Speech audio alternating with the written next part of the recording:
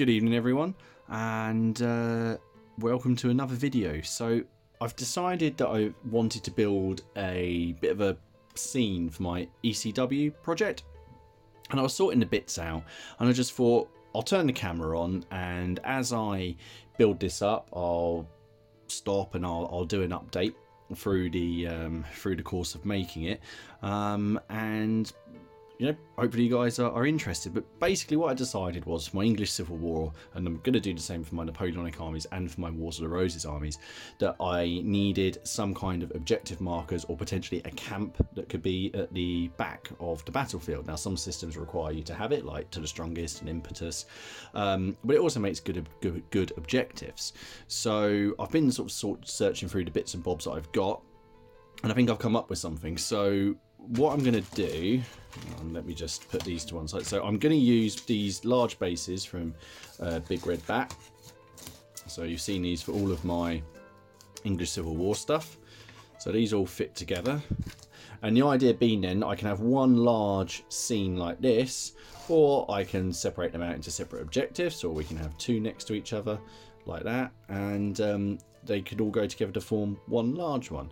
Um, so I was having a look at what I've got. Now I've got this cart which we um, we gave away at, uh, at CrackCon in the in the bags in the goodie bags. Um, this was donated by Warbases. So I've got this peasant cart. So I thought that would be quite cool um, to use in a camp scene. So I'm going to pop it, say for example, I don't know, on a base there. Um, I've got quite a few of these resin barrels. I got these from March of War, um, just for projects like this and to create some scenery. So what I thought we could do is create like a gunpowder store. So I'm not fixing anything down yet. This is I always play around with base ideas and things like this first of all. So put those on the cart. Maybe pop a couple there. Um, and then you saw these in the other video, but these are the bloody miniatures, um, and I'm figuring out a way to use these. And these are the ones called the Night Watch. these ones are basically on guard duty, so we can do something with them. Um, so what I was thinking was is potentially putting like some other ones down like this maybe, and then having a guard say there, and this one here. Look, so there Oh, having a chat on guard duty. Then I remembered I've got these tents from Renedra. So you could put like a tent there, another guard, like so. Um, and then this guard here, he's he's it's like he's challenging someone, so we could put him like that and then I've got lots of these Gabions from Renedra as well, so I'll put a couple on here and maybe some other bits, maybe some weapons. So that's kind of the rough idea that I've got. So what I'm going to do now, I'm going to go away, I'm going to undercoat everything, uh, I'm going to spray it. There's a couple of these bases that I can work on straight away, such as the one that the cart is on. Um, so for the carts and the barrels, I'm going to glue those onto the bases after the um, all the um, static grass is done whereas these guys on their integral bases these these bases here will have to be done I'll have to paint the models first so um, I'll basically go for a whole stage I'll get going and then I'll um, I'll come back and update you on the next stage. Okay so I'm back. Um, it's been about an hour and I've managed to finish a lot of my prep work and um, basically I've sorted out all of the scenery items. So the cart has now been given a straightforward paint job a bit of weathering. That'll be enough because it's going to have barrels on it and it's going to obviously be on a, a base with static grass. Um, I found this bit of fence that I was using um, so I've painted that up figured that'll look good on one of the bases and uh, you know one of the, maybe the one where the guard is um, sort of shouting who goes there. Um, I've painted up two of the Gabions and then all of these these barrels. Now these have primarily been done with the contrast paints, um, which are really good for stuff like this because you've got all the wood grain detail. Um, now, what this base here is going to be for the cart because that's probably going to be the easiest base to complete. So I've already put on my ground covers for this. So he'll go straight onto there. once I've flocked it, which will happen in That'll happen next, so that'll be on there, and that will be the first base to get completed once the static grass is on there, and I can glue the other barrels down. So that one's going to be the easiest one to do. I can't do the ground covers on the other ones yet until I've painted the men, who you can see I've zenithal highlighted. So there's this chap here who I think I'm going to put standing outside the tent. That's the uh, who goes there fella. I know I've said it before, but I do love these sculpts. And um, I might as well show you the other two. There's this guy, and then my favourite out of the whole, the whole lot.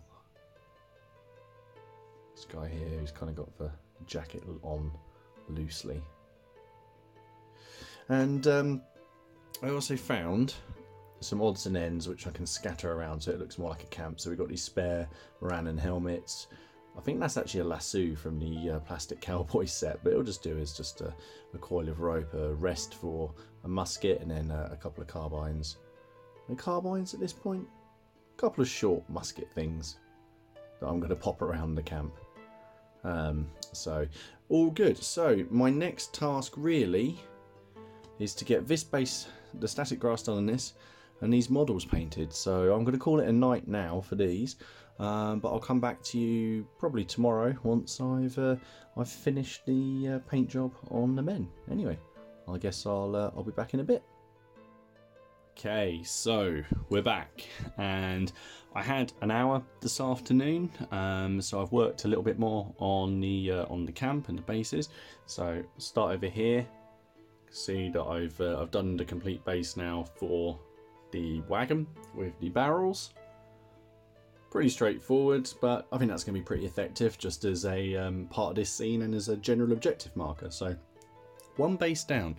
Um, I then I've painted up all of the uh, the models. So these are the bloody miniatures, and these are lovely, lovely models. I know I've already said that in my review video, but they are awesome. So I've taken my time with these. So these are the Night's Watch. Really pleased with how that red's come out. The details on the face. Lovely sculpts. Um, something just a bit, bit different. Color-wise, I just kind of went for whatever, really. I just kind of went, had a look through the I didn't want either of them, or rather any of them, to look the same. And that way also they can be used as parliamentarians or royalists um, just in case I'm, you know, we need an objective. I was quite pleased with this one, the sort of muted colours. Very nice. Very, very cool. Very, very nice minis. So that's a quick sort of stop update. Next thing to do is to get these stuck onto the bases, organise how they're going, um, and then get them all um, ground covered, basically. And uh, I'll come back to you basically before I add the static grass.